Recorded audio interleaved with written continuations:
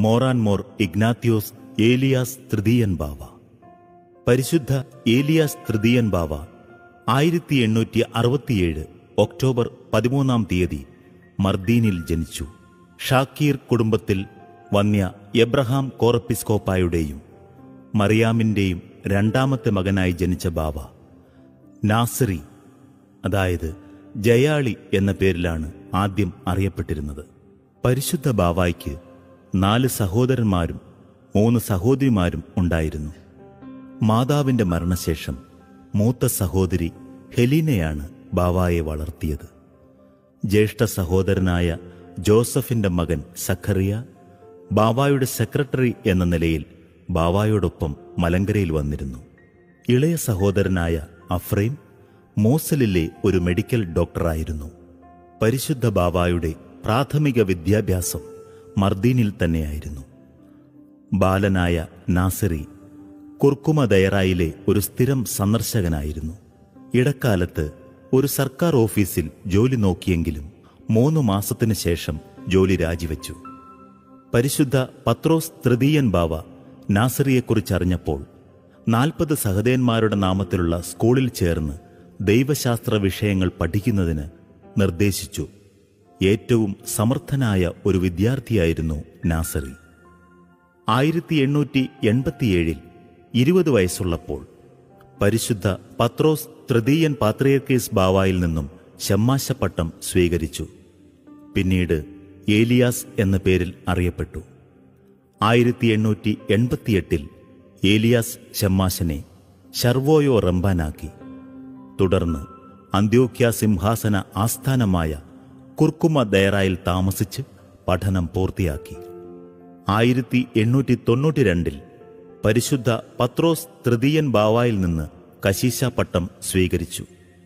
പരിശുദ്ധ ബാവായുടെ സ്വകാര്യ കാര്യദർശി എന്ന നിലയിൽ ചുമതലകൾ നിറവേറ്റിയ ഏലിയാസ് കശീശ മർദീനിന് അടുത്തുള്ള ആമീദ് മഹാ ഇടവകയുടെ ചുമതലകൾ കുറച്ചുനാൾ നിർവഹിച്ചു. പരിശുദ്ധ പത്രോസ് തൃതീയൻ ബാവ ആയിരത്തി എണ്ണൂറ്റി തൊണ്ണൂറ്റിനാലിൽ കാലം ചെയ്തപ്പോൾ ആമീദിലെ ചുമതലകൾ വിട്ട് ഏലിയാസ് കശീശ കുർക്കുമ ദയറായിലേക്ക് തിരിച്ചു വന്നു. ആയിരത്തി എണ്ണൂറ്റി തൊണ്ണൂറ്റിയഞ്ചിൽ പരിശുദ്ധ അബ്ദുൾ മസിഹ പാത്രേർക്കിസ് ബാവ ഷെരിയായിലെയും ആയിരത്തി എണ്ണൂറ്റി തൊണ്ണൂറ്റിയൊൻപതിൽ തുറബ്ദീനിലുള്ള മിതിയാത്തിലെയും ഭദ്രാസന ഇടവകകളിൽ ഉണ്ടായ പ്രശ്നങ്ങൾ പരിഹരിക്കുന്നതിനായി ഏലിയാസ് കശീശായെ നിയോഗിച്ചു. അന്നത്തെ തുർക്കി ഗവൺമെന്റ് അർമേനിയൻ ക്രിസ്ത്യാനികളെ പീഡിപ്പിച്ചുകൊണ്ടിരുന്നപ്പോൾ ഏഴായിരത്തിലധികം അർമേനിയൻ ക്രിസ്ത്യാനികൾക്ക് വിശുദ്ധ കുര്യാക്കോസിന്റെ ദേറായിൽ അഭയം നൽകിയത് ഏലിയാസ് കശീശയായിരുന്നു. അർമേനിയൻ ക്രിസ്ത്യാനികൾക്ക് ചെയ്തു കൊടുത്ത സഹായങ്ങൾ ഏറെ പ്രശംസിക്കപ്പെട്ടു. പിന്നീട് കുറിയാക്കോസ് ദേറായുടെയും കുർക്കുമ ദേറായുടെയും തലവനായി അദ്ദേഹം നിയമിതനായി. ആ കാലഘട്ടത്തിൽ സ്ഥലങ്ങൾ വാങ്ങുകയും സ്കൂളുകൾ പള്ളികൾ ആശുപത്രികൾ എന്നിവ പണിയിക്കുകയും ചെയ്തു. ഏലിയാസ് കശീശായുടെ പ്രവർത്തനങ്ങൾ മൂലം ടർക്കിയിൽ അദ്ദേഹം പ്രസിദ്ധനാകുകയും ചെയ്തു. നാൽപ്പത്തിയൊന്ന് വയസ്സുള്ളപ്പോൾ പരിശുദ്ധ അബ്ദുള്ള രണ്ടാമൻ പാത്രേർക്കിസ് ബാവ ഏലിയാസ് കശീശായെ ഇവാനിയോസ് എന്ന പേരിൽ മെത്രാപ്പോലിത്തയായി വാഴിച്ചു. Mor Ivanios Elias Bava Diyarbakir ഭദ്രാസനത്തിന്റെ ചുമതലകൾ നിർവഹിച്ചു. ആയിരത്തി തൊള്ളായിരത്തി പന്ത്രണ്ടിൽ ഇറാഖിലെ മോസലിന്റെ മെത്രാപോലിത്തയായി നിയമിതനായി. ആയിരത്തി തൊള്ളായിരത്തി പതിനഞ്ച് നവംബർ ഇരുപത്തിയാറാം തീയതി അബ്ദുള്ള ദ്വിതീയൻ പാത്രീർക്കിസ് ബാവ കാലം ചെയ്തതിനെ തുടർന്ന് മൊറിവാനിയോസ് ഏലിയാസ് മെത്രാപോലിത്ത പാത്രീർക്കിസായി തിരഞ്ഞെടുക്കപ്പെട്ടു. ആയിരത്തി തൊള്ളായിരത്തി പതിനേഴിൽ പാത്രിയർക്ക സ്ഥാനാരോഹണം നടന്നു. തുർക്കി സുൽത്താനായ മുഹമ്മദ് റഷീദ് പരിശുദ്ധ ഇഗ്നാത്യോസ് ഏലിയാസ് തൃതീയൻ ബാവായ്ക്ക് ഫർമാൻ അതായത് അധികാരപത്രം കൊടുത്തു.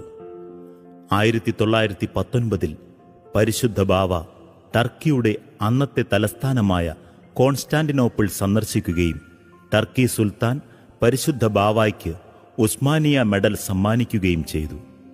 ആയിരത്തി തൊള്ളായിരത്തി ഇരുപത്തിരണ്ടിൽ യെരുശലേമിൽ എഴുന്നള്ളി ഏതാനും മാസങ്ങൾ താമസിച്ചു.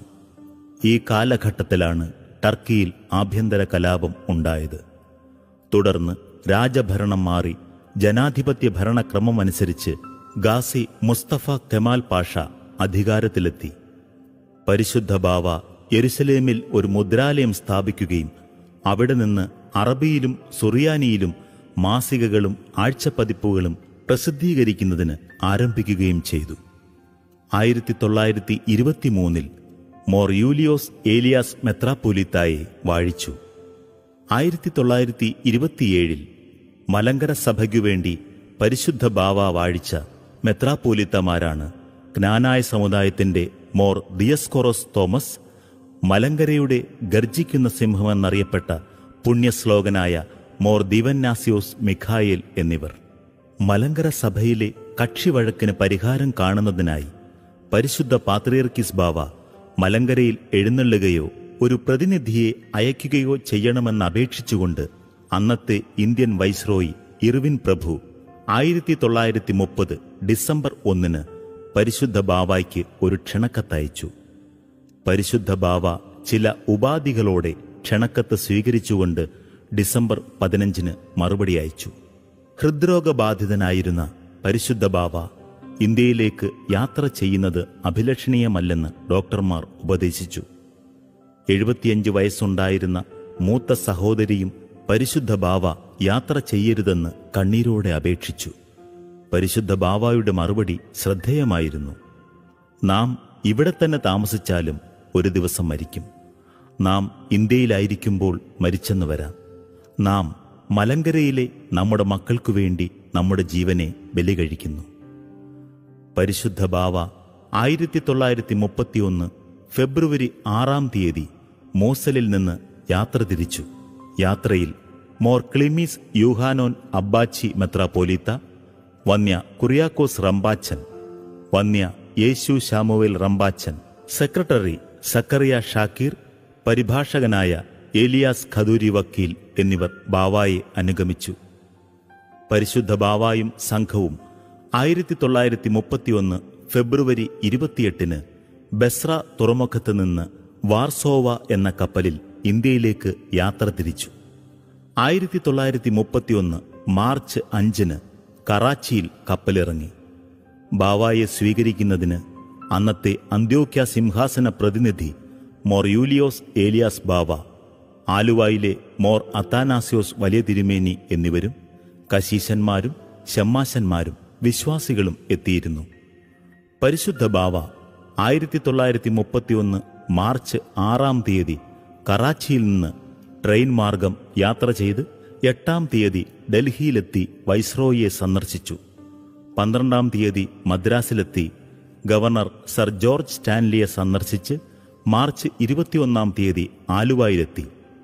ആയിരത്തി തൊള്ളായിരത്തി മുപ്പത്തിയൊന്ന് മാർച്ച് ഇരുപത്തിരണ്ടാം തീയതി ആലുവ തൃക്കുന്നത്ത് സെമിനാരിപ്പള്ളിയിൽ പരിശുദ്ധ ബാവ വിശുദ്ധ ബലിയർപ്പിച്ചു മലങ്കരയിലെ നിരവധി പള്ളികൾ സന്ദർശിച്ച ബാവ ആയിരത്തി തൊള്ളായിരത്തി മുപ്പത്തി ഒന്നിലെ കഷ്ടാനുഭവ ശുശ്രൂഷകൾ കരിങ്ങാച്ചിറ പള്ളിയിൽ നിർവഹിച്ചു. ആയിരത്തി തൊള്ളായിരത്തി മുപ്പത്തിയൊന്ന് ജൂലൈ അഞ്ചാം തീയതി കുറുപ്പമ്പടി പള്ളിയിൽ പള്ളി പ്രതിപുരുഷ യോഗം ചേർന്നു. പാണമ്പടി പള്ളി ഒന്നിലധികം തവണ സന്ദർശിക്കുകയും രണ്ടു മാസത്തിലധികം അവിടെ താമസിക്കുകയും ചെയ്തു. ആയിരത്തി തൊള്ളായിരത്തി മുപ്പത്തിരണ്ടിലെ ധനഹാ ശുശ്രൂഷകൾ പാക്കിൽ സെന്റ് തോമസ് പള്ളിയിലാണ് നിർവഹിച്ചത്. ആയിരത്തി തൊള്ളായിരത്തി മുപ്പത്തിരണ്ട് ഫെബ്രുവരി പതിനൊന്നാം തീയതി മഞ്ഞിനിക്കര മോർ സ്തേഫാനോസ് പള്ളിയിലെ ക്ഷണപ്രകാരം അവിടെയെത്തി. സമാധാന ശ്രമങ്ങൾ ഫലപ്രാപ്തിയിലെത്താത്തതിനാലുള്ള മനക്ലേശത്താലും ദീർഘയാത്രയാലും പരിശുദ്ധ ബാവ ക്ഷീണിതനായി. കല്ലിശ്ശേരി പള്ളിയിൽ നിന്നും ഓമല്ലൂർ പള്ളിയിലേക്കുള്ള യാത്രയിലും ഓമല്ലൂരിലും ബഹുമാനപ്പെട്ട ഇലവിനാ മണ്ണിൽ കുറിയാക്കോസ് കശീശ വിപുലമായ സ്വീകരണ ക്രമീകരണങ്ങളാണ് ചെയ്തിരുന്നത്. മഞ്ഞിനിക്കരയിലെത്തിയ ബാവ ഇവിടുത്തെ താമസം നമുക്ക് വളരെ സുഖമായി തോന്നുന്നു. ഇവിടെ സ്ഥിരമായി താമസിച്ചാൽ കൊള്ളാമെന്ന് നാം ആഗ്രഹിക്കുന്നുവെന്ന് കൽപ്പിച്ചു. ഫെബ്രുവരി പന്ത്രണ്ടാം തീയതി പരിശുദ്ധ ബാവായെ സന്ദർശിക്കാനെത്തിയ പട്ടക്കാരോട് ഇന്ന് നിങ്ങൾ ആരും പോകരുത്. രണ്ടു ദിവസം എന്നോടുകൂടെ താമസിക്കരുതോ എന്ന് കൽപ്പിച്ചു. അന്നു വൈകിട്ട് മെത്രാപ്പോലിത്തമാർ താമസിക്കുന്ന പള്ളിക്ക് വടക്കുവശത്തുള്ള ഷെഡിൽ തൈലാഭിഷേക ശുശ്രൂഷയായ കന്തീലായുടെ പല ഭാഗങ്ങളും ചൊല്ലിക്കേൾപ്പിക്കുകയും നിദ്ര പ്രാപിക്കുന്നവരെ സംബന്ധിച്ച് പരാമർശിക്കുകയും ചെയ്തു. ഫെബ്രുവരി പതിമൂന്നാം തീയതി ശനിയാഴ്ച ബാവ കൽപ്പിച്ച പ്രകാരം മോർ യുഹാനോൻ യൂഹാനോൻ അബ്ബാച്ചി വിശുദ്ധ കുർബാന അർപ്പിച്ചു പരിശുദ്ധ ബാവ വിശുദ്ധ കുർബാന മധ്യയെ പ്രസംഗിച്ചു. മധ്യാഹ്ന പ്രാർത്ഥനയ്ക്ക് ശേഷം ഭക്ഷണം കഴിച്ചു. പിന്നീട് പതിവ് തെറ്റിക്കാതെ ഡയറി എഴുതാൻ ആരംഭിച്ചു. ഡയറി എഴുതുന്നതിനിടയിൽ ഒരു പദത്തെക്കുറിച്ചുള്ള സംശയ നിവാരണം വരുത്തുന്നതിനായി നിഘണ്ടു ആവശ്യപ്പെട്ടു. ഡയറി എഴുതി കഴിഞ്ഞ് ഉലാത്തുമ്പോൾ തലവേദന തോന്നി. എന്റെ തല എന്റെ തല എന്നിങ്ങനെ പറഞ്ഞു. റമ്പാച്ചന്മാർ അടുത്തെത്തിയപ്പോൾ കുഴയുന്നതുപോലെ തോന്നിയതിനാൽ താങ്ങി മെത്തയിൽ കിടത്തി. പരിശുദ്ധ ബാവ നിത്യതയിലേക്ക് യാത്രയായി. അപ്പോൾ ഉച്ച കഴിഞ്ഞ് രണ്ടര മണിയായിരുന്നു. സ്തേഫാനോസ് പള്ളിയുടെ വടക്കുവശത്തുള്ള സ്ഥലം അന്ത്യോക്യ സിംഹാസനത്തിലേക്ക് എഴുതി അവിടെ കബർ പണിതു. ഫെബ്രുവരി പതിനാലാം തീയതി പരിശുദ്ധന്റെ കബറടക്ക ശുശ്രൂഷ നടന്നു. പരിശുദ്ധ ഇഗ്നാത്യോസ് സാഖ ഒന്നാമൻ ബാവായുടെ കൽപ്പന പ്രകാരം മഞ്ഞനിക്കര ബാവായുടെ പേര് വിശുദ്ധ കുർബാനയിലെ അഞ്ചാം തുബ്ദേനിൽ ചേർത്തു. ഈ പരിശുദ്ധന്റെ കബറിടം സ്ഥിതി ചെയ്യുന്നതിനോട് ചേർന്ന് പരിശുദ്ധ ഇഗ്നാത്യോസ് നൂറോനോയുടെ നാമത്തിൽ പള്ളി പണി കഴിപ്പിച്ചു. ഈ പരിശുദ്ധന്റെ ഓർമ്മ പെരുന്നാൾ ഫെബ്രുവരി പതിമൂന്നാം തീയതി സഭ ആഘോഷിക്കുന്നു.